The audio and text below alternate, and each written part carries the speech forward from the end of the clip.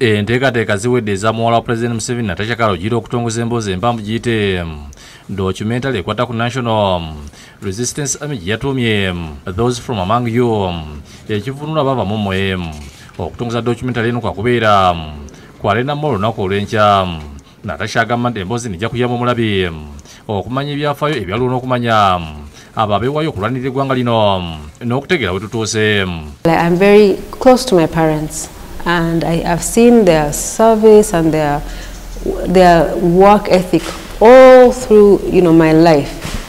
So I just, I began to feel like, why, why, this is such a powerful story, why is it just not out there? And that's how 27 Guns happened. Let's say from a different angle.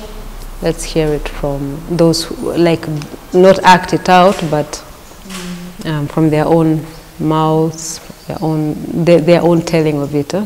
So that's how now we got into this documentary. natasha aliko abavubuka Focus on, on patriotism for people to, if, they, if we love our country, then we, we are really all stakeholders in it. You, you don't want it, you don't want it, because anything that, if, that goes wrong affects this land which is for, for us. Huh?